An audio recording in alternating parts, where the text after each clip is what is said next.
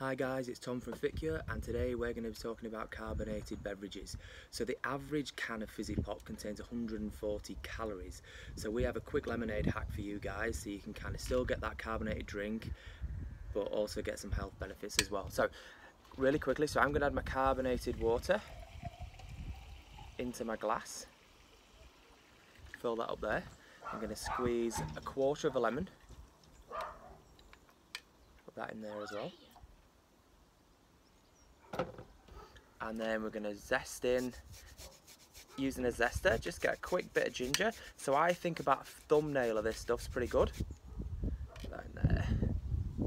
Throw that in there. So the lemon juice is going to alkalize the body and enhance the action of vitamin C and it's also going to it's an anti-inflammatory uh, same as the ginger. So the ginger is an anti-inflammatory as well and that's going to help with nausea. And it's thought to also help with arthritis as well so mates, don't be afraid guys, obviously I've just done a glass here, but don't be afraid to make more. We've got the big bottles, and if you don't drink it all, you can pop it in your ice cube trays and freeze it, and then you've got it for later on. Enjoy the evening. It's good, lemonade.